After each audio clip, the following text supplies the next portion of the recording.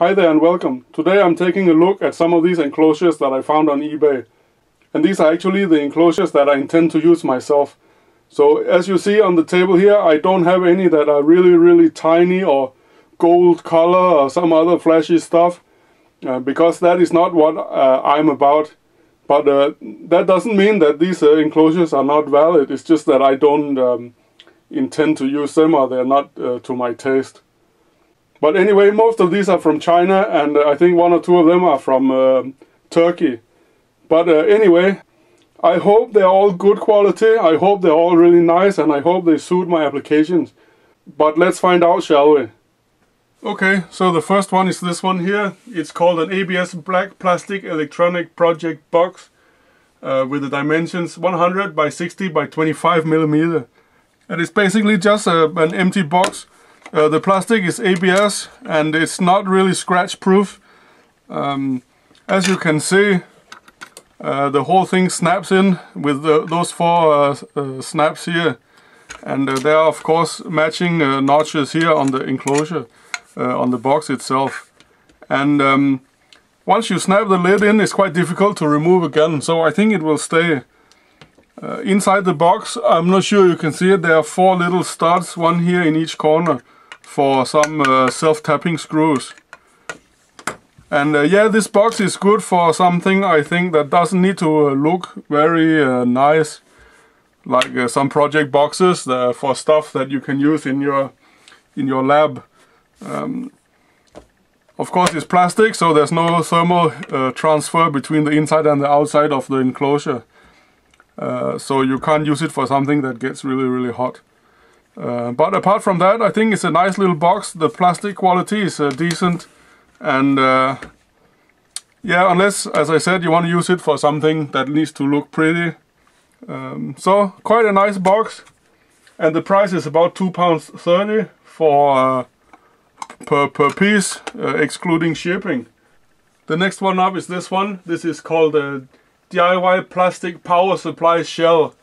And um, this one is actually cheaper than the other one. It comes at about uh, three pounds including shipping.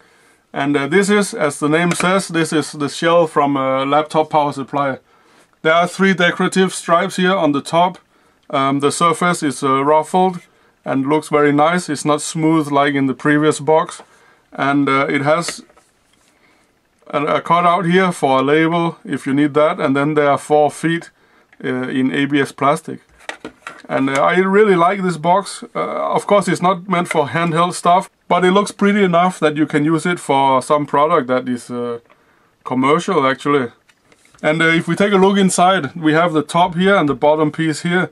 And the mounting screws goes into these tabs here that, that they tab into these uh, plastic uh, studs here as well.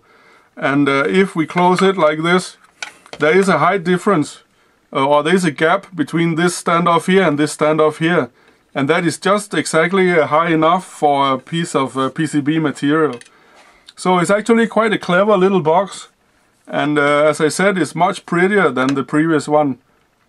And uh, you can buy these in uh, bulk actually online you can buy 10 at a time or, or 20 or whatever and you get even better price.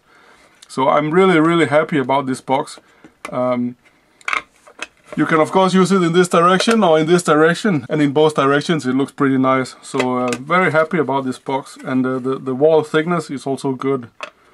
This is a very very nice box and uh, because it's not a hobby box it's meant for uh, industrial use, it's meant for people who make power supplies. The price is also very good. So very happy with this box. The next one is this one, it's called the MHH66 ABS plastic box handheld enclosure. And uh, they are quite expensive, I must say. They're about five pounds each. But they are very nice shaped and they are good for remote controls and stuff like that. It fits uh, fairly nicely in your hand. Um, it doesn't fit as nicely as I would have thought, but uh, that is the shape. Um, the thing is basically the, the thing basically consists of two halves uh, plus a little uh, piece here for the end and um, there are four holes here on this side for PCB and uh, these four are for the screws. And of course they tap into these uh, studs up here. So when you close it, it, uh, it, it fits together like this. and uh, I'm not sure you can see inside uh, but there is no gap between these uh, mounting studs here for PCB so your PCB has to have a shape like this and go outside this stud here and uh, back in here and that will work of course but the problem is there are no mechanical drawings for this plastic here from the supplier so uh, I'm not quite sure how I'm gonna get this PCB shape uh, spot on the first time I'm gonna do that. Particularly since this is curved up here. But otherwise I think it's pretty good for a handheld uh, device, which is uh, what I was gonna use it for. And uh, indeed there's a cutout here on the front for a sticker. This thing is curved a little bit in this direction here. Um, so it's not it's not flat, this uh, cutout here, so you have to take care of that when you uh, design your board or your project. But otherwise, um, it's a ruffle surface and it's really sturdy. And um, yeah, this is a really nice box, although uh, fairly expensive. But yeah, good, good little, good little enclosure. The next set of boxes are really, really small. I mean, you can see it compared to a finger like this. They are they are just about five centimeter by two by one centimeter or something like that. And um, they have a hole in each end for a cable going in and a cable going out. So I think for light dimmers and stuff like that, it may be pretty nice. Um, I must admit, I don't know why I bought these, because I really don't have any use for them.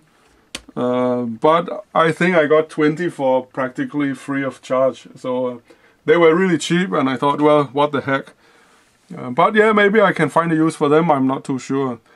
But uh, at least you can use it for a cable coming in here and a cable coming in from below.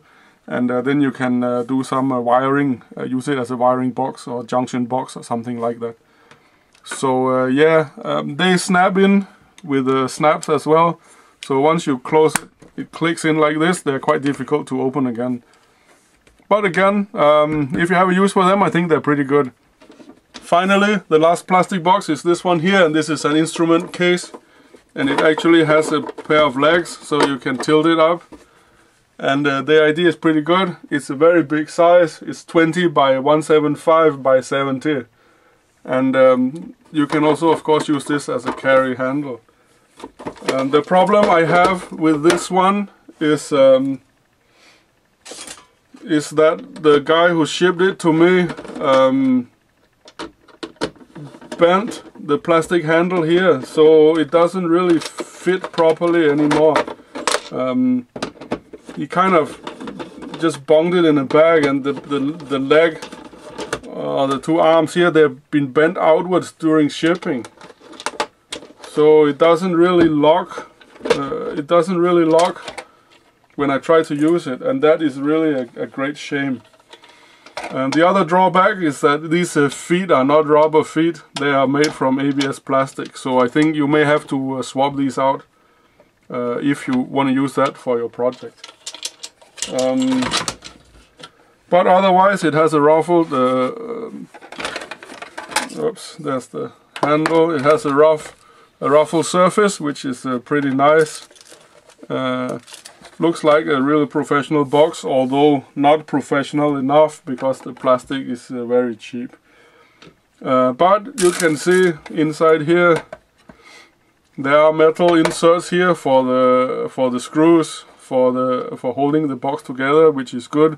And then there are quite a lot of studs here for mounting the PCB, so you can have different size PCB inside. So uh, yeah, pretty awesome.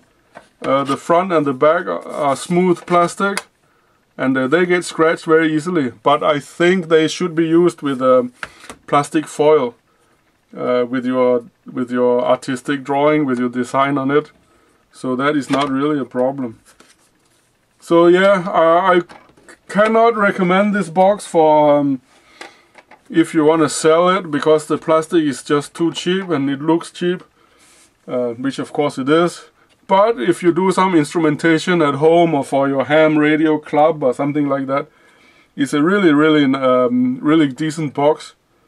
And uh, as you can see, there are even some uh, grills here.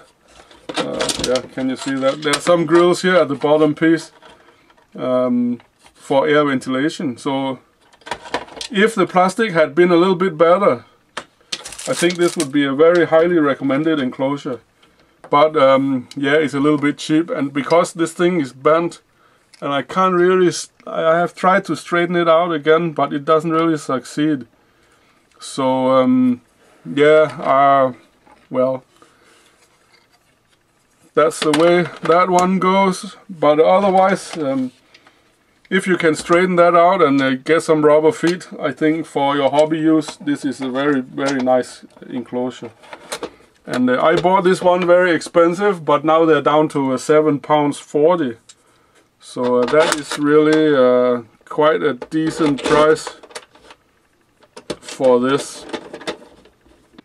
Oh yeah, sorry, I have a few more I have a few more plastic cases uh, here and uh, I got those and unfortunately I don't know what what they are called on eBay but uh, on the sticker here it says SH-BI-338 or possibly uh, you should search for ZC1123 um, and this box is quite similar to the first box I showed you in that this is a snap-in box um, the lid snaps in and then you have problems removing it again. And it comes with four screw mounts here for, for PCB. Uh, the problem with this box is that they come like this.